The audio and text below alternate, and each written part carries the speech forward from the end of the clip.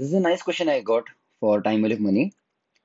Uh, it is in CA Foundation MTP. You can have a look at the question and you can try. You can pause the video and try on your own. I'll read the question. A took a loan from B.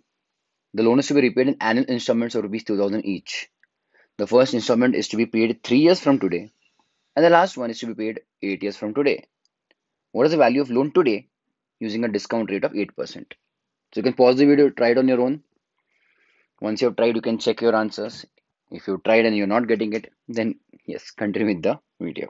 All right. So basically, this much you might know. ये पता होगा कि हमको present value निकालना है because you know, we are finding present value of the loan. So the thing is here, the loan is not repaid every year. जो पहला installment है, it starts at the end of third year, है ना? So there is no installment at the end of first year repaid, and there is no loan repaid at the end of second year also.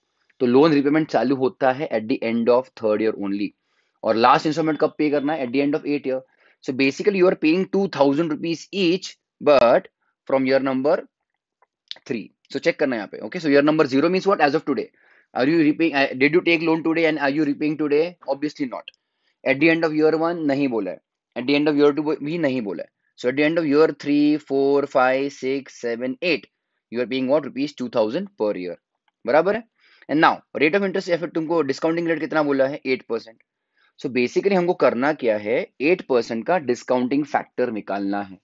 ना how do we I mean how do you find out that so eight percent of today is eight percent only but अगर हम उसको discount करते जाए so r is my eight percent that is zero point zero eight तो हम discounting कैसे निकालेंगे इसका? See how can you find out discounting factor one divide by one point two eight okay so I just show you on calculator 1 divided by 1.08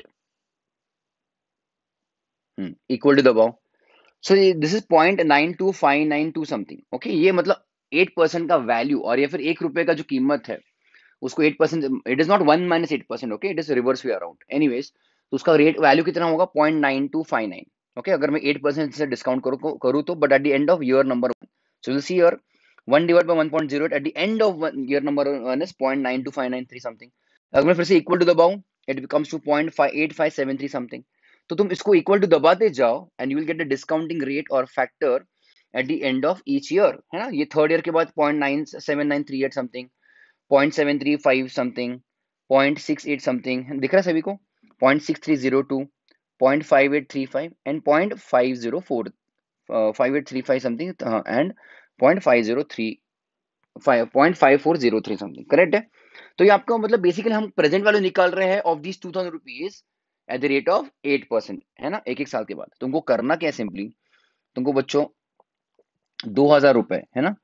multiply करना है point seven nine three eight M plus then this again this 2000 divided by uh, 2000 multiplied by 0.73503 m plus 2000 into 0.68068 0.6806 m plus 2000 into 0.6302 m plus 2000 into 0.5835 m plus and 2000 into 0.5403 m plus. And ultimately तुम क्या दबाओगे बच्चों? Memory recall basically तुम वही two thousand rupees की present value निकाल रहे हो at the end of each year है ना?